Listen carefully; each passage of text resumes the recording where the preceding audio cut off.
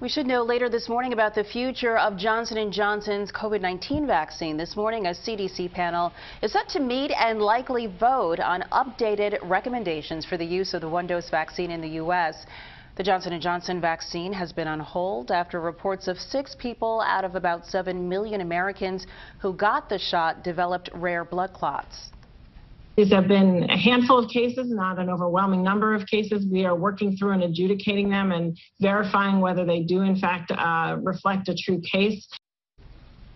And in Europe, the J&J vaccine is back in use after a pause for similar concerns there. It now has a warning about risks and what to look out for.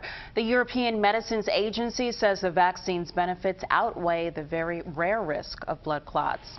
And Philadelphia